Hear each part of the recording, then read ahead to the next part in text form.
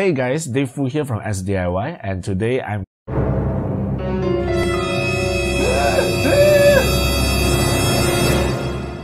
Disclaimer, the stunt that you just saw just now is inspired by real event. I was mad at first, but after thinking through and cooled myself down, I talked to my housemates and kinda have a treaty with them. So everything is resolved, no hard feelings anymore. My Brachypelma boehmei actually escaped from her enclosure and then she somehow crawled in front of the washing machine and my housemate found her. So what actually happened is now, of course, the good thing is that they didn't do it. We have already settled things properly, so they have voiced out their concern. Their concern is that my pets are getting more and more venomous. Like in the beginning, I keep ants, alright, ants have venoms. If you don't know, ants have venoms. From ants, and then I start to have tarantulas, and then I begin to have scorpions, uh, Asian forest scorpions. they become more concerned of their personal safety and even my landlord also have mentioned his concern because his son is staying with me. I actually beg them so that I'm able to continue to keep those tarantulas that I currently have at the condition that I don't buy any tarantula species anymore. Even though there are some tarantula species that I wanted to get very much, for example, Caribena versicolor. If you have watched my previous video on the new editions that I get, you will know that I still want Caribena versicolor because it's very very beautiful and but too bad. Yeah. For us tarantula keepers, we know that how dangerous a tarantula is and we know how not dangerous a tarantula is because we have knowledge about them. But to a layman, tarantulas are basically big, hairy, creepy crawlies venomous, dangerous, and they would think that, oh, people die because they got bitten by tarantulas.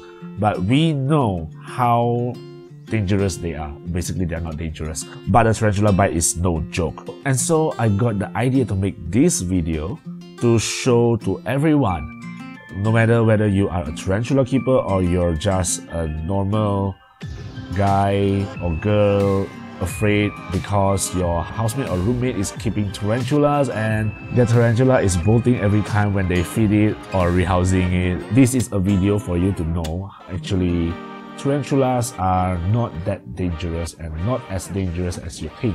Now one question that everyone always asks, even though they are tarantula keepers and trying to get like new tarantulas or what, one question they will ask all the time, always, always confirm.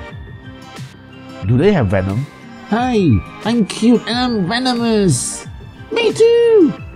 Hey, don't bust my cover. I know I'm venomous, but so many people don't know. So shh.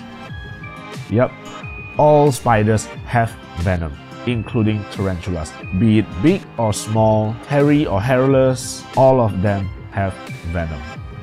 Without venom, they can't hunt prey, they can't eat, they can't kill, and they will die of hunger. They need their venom. I have done some research and I'm going to show you through everything.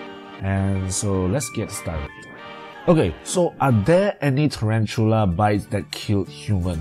Let's Google it and see. Reports of human death by tarantulas. Let's see. Oh, Although reports of severe human toxicity are rare, dogs bitten by Phlogius and Selenocosmia spiders often die. Many species of tarantula possess urticating hairs. Some tarantula bites are more harmful. List of medically significant spiders, Wikipedia. Um, let's see what else. Danger of tarantula bites and scorpion. Can tarantula kill you? Let's see. Interesting, right? No. And no, to my knowledge, there has only been one death attributed to a tarantula and it's due to anaphylaxis, which is basically allergic, allergic reaction to the venom. So it is not the tarantula that kills. Third one, no, while some species of tarantula have venom strong enough to make a bite extremely unpleasant, of course, uh, no death nor any anaphylactics, no allergic reactions. So far, no one died And if that one is real, then there's only one person who died, and that is because of allergic reaction and not because of a direct bite from a tarantula. Most people are not allergic to any venom, except for some people they allergic to some ants venom, like even ants venom can kill you. You know an ant sting can kill you if you are allergic to it. Bee stings too. Let's see the list of medically significant spider bites in Wikipedia. First, wandering spider, widow spider. Oh, tarantulas. Alright, tarantulas, finally. After the bottom of the list, I find tarantulas. Right, New World tarantulas, okay. New World tarantulas pose little threat to humans. Old tarantulas, species uh, like urticating hairs and may bite as a defensive mechanism. They are far less docile than New World species, New World tarantulas, and are more likely to bite when provoked. When provoked, even touching it with this pipette, it does not attack, you see. We'll try to move away, like push away, push away.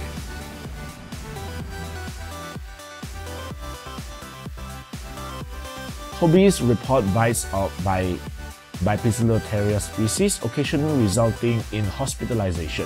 Symptoms include localized pain and swelling, exhaustion, moderate to severe muscle cramping, labored breathing, and fever sometimes delayed days after the initial bite. Medical documentation is lacking. Oh. Poecilotheria. Pokies.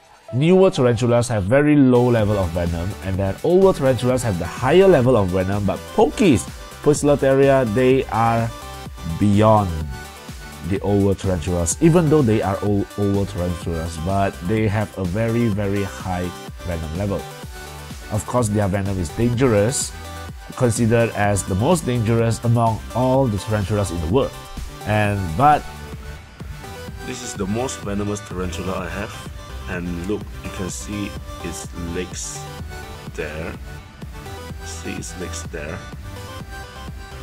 And look what happened. See? You see? It just ran away. It just ran away just by touching the enclosure. to my observation, they are very skittish and also they hate light a lot. So most of the time they will hide in their cork bark.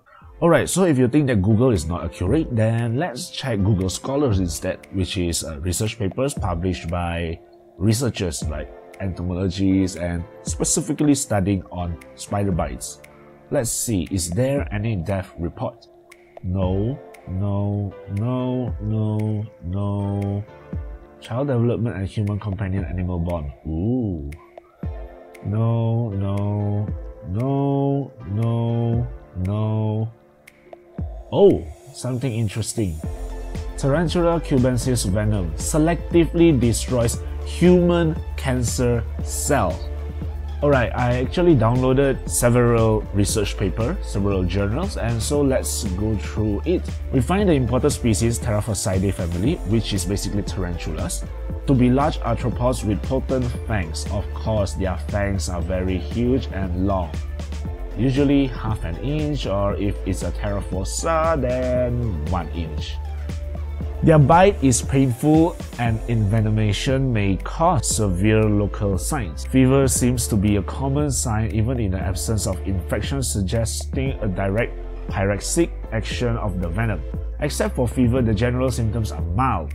All patients in our series recovered after a few days with symptomatic treatments only. Grammostola actaeon, eyes contacted by urticarious hair. You see, that's why you don't want to inhale or after you touch a New World tarantula and with the urticating hairs on your hand, you don't want to rub your face. That's what we don't do. We never do that. What else? Let's see. Theraphosa leblondi. Occupational hand bite. Pain, local swelling. That's it? Oh, okay. Let's see. Poecilotheria species. Yes, interesting. Hand bite fever, myalgias, shivers, dysesthesias, cramps, pain.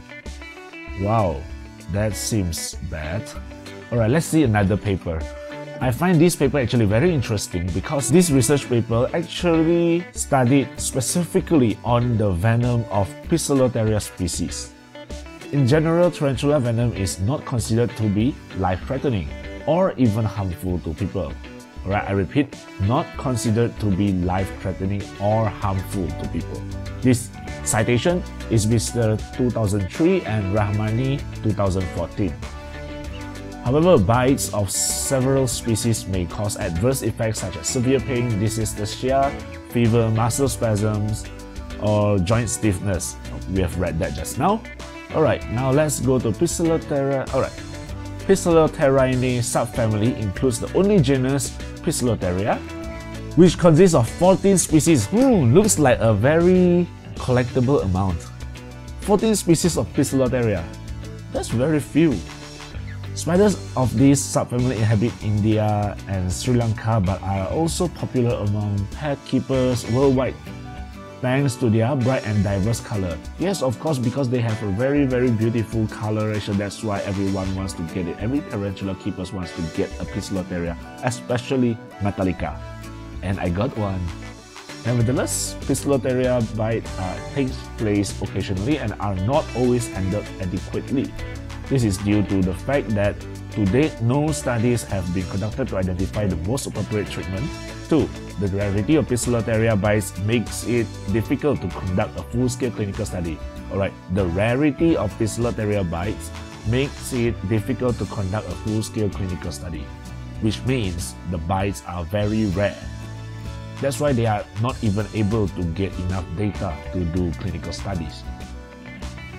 3. Poecilotheria bites sometimes occur in countries where physicians have no experience in treating spider bites. 4. No clear information on the topic can be easily found over the web. This I agree. Some suggested treatment options are based on the experience in treating bites of other spiders. Uh, I don't think so. There is an apparent lack of information on Poecilotheria venom molecular mechanism of action. Alright, so basically that's the reason why this guy Alexander Andreev-Andrievskiy did this research with his research group and, and the title of this paper is actually Pharmacological Analysis of Poecilotheria Spider Venoms in Mice Provides Clues for Human Treatment. Basically, they inject Poecilotheria venom into the mice and then they try to treat it in hope that they can find a cure if human got bitten by Poecilotheria species. So you can know how rare Poecilotheria actually bites because like I mentioned just now, they are skittish, they don't like light, and they usually run before you can even touch them. And what more, you can't even reach them, so how are they going to bite you? But a tarantula bite is no joke. You must know that. That is why we tarantula keepers, we keep the handling to the minimum. Some of us don't even handle our tarantulas at all because they are a type of pets where we look at them and we keep them and we adore them from afar. So if you are thinking of getting a pet tarantula, so remember that tarantulas are not for you to touch.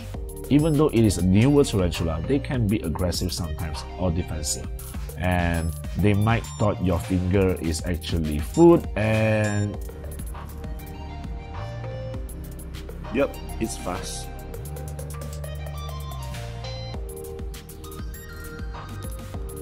Yes. And basically, that's the only time she bites. Yep, you know what's next.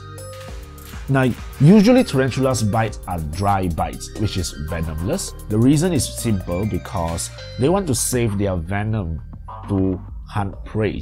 So whenever a prey comes, they will bite on the prey and then inject the venom into the system of the prey and to ensure that the prey dies so that it can eat them. So at most you will only feel pain because their fangs are sharp and long.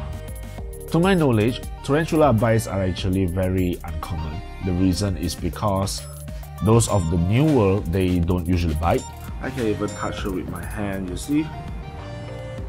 Yeah, she's just kind of skittish. And those of the old world, they are very skittish. Oh, look who's out! Finally!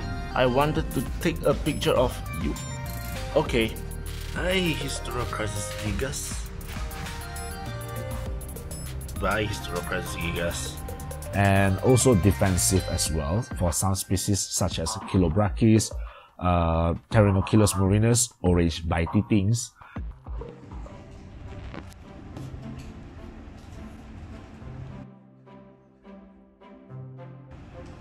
You see?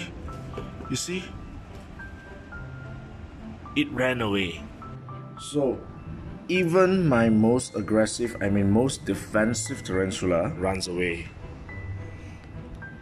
It's like this.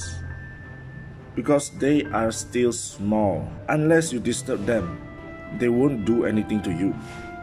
But of course, after it became an adult, that's a different story. Totally different story. And if it escaped, just take a catch cup and put on it. That's it. And um, Ceratogyrus. So there are some species in the old world, of course, uh, they are more aggressive. I mean, more defensive. Right? Aggressive is that they will chase after you and bite you. But defensive is that when you disturb them, they will bite you. So there's a difference between aggressive and defensive. So tarantulas are defensive and not aggressive. They're only aggressive against food. Now, there's one final thing that I want to make clear. What if the tarantulas escape? So the reason my Brachypelma boehmei actually escaped is because I did not maintain its enclosure. This earlier on is already loose, just that I did not maintain it. And so it's actually my fault and it is not her fault that she escaped. She keeps pushing, pushing, pushing, and the other hinge also got dislocated, and that is how she actually escaped. Even if they escape for those venomous species, they won't bite you. Don't worry, they won't bite you, they will run. You are bigger than them and they fear you more than you fear them. So trust me, they won't bite you even if they escape. Alright, I hope you guys enjoyed this video. Of course, a tarantula video won't be complete without a feeding clips. You guys have seen how aggressive my tarantulas are. I hope you guys really learned something today. That um, tarantulas are actually very harmless. Don't forget to subscribe to my channel for more. Even though I'm unable to get new tarantulas anymore, but these old tarantulas, I can tell you that basically I have already got all those that I did except for Caribena versicolor. Well, of course, I hope my housemates will watch this video as well so that they will be able to have some knowledge as well about tarantulas and so that they won't be scared of it anymore. I did this video for you guys, you know. Alright, that's it. Subscribe to my channel here or here. Uh, anywhere. And don't forget to hit the bell icon on and also if you ever have any complications in keeping your tarantulas like mine, perhaps maybe your parents don't allow you or your siblings or maybe your spouse or your friends or your housemate like mine ever complained to you, well, feel free to leave it in the comment sections below and let me read what are your experience and how did you handle it. So that's it for today and I'll see you next time. Bye!